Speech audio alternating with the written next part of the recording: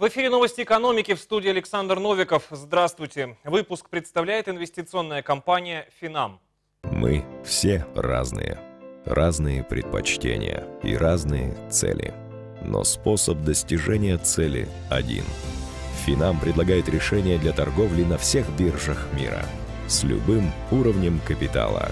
Финам. Ваш индивидуальный способ достижения цели. По итогам первой половины недели российские фондовые индексы смогли продемонстрировать позитивную динамику. Индекс ММВБ поднялся более чем на 2% до 1954 пунктов. Индекс РТС подтянулся аж на 3%, преодолев отметку 1020 пунктов.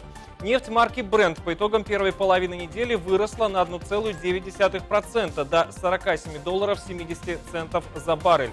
Золото к закрытию среды прибавило 0,6%, закрывшись в районе 1220 долларов за тройскую унцию. Доллар за три торговых сессии снизился на 0,7% до 60 рублей.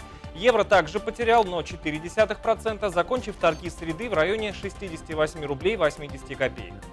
Лето на российском рынке традиционно не отличается интересной динамикой. Можно сказать, что рынок залегает в своего рода дрейф. Дивидендные истории уже практически отыграны. Еще неделя-две и реестры акционеров будут закрыты.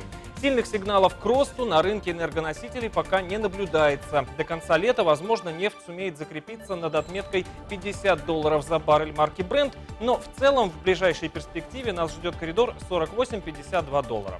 Разумеется, на российском рынке всегда есть отдельные интересные инвестиционные идеи. Однако с учетом текущей обстановки специалисты рекомендуют не ограничиваться только отечественными бумагами. В конце концов, мы живем в глобальном мире, доступ к иностранным ценным бумагам из России открыт. И почему бы не разбавить свой портфель, скажем, американскими акциями. Удачных вам инвестиций!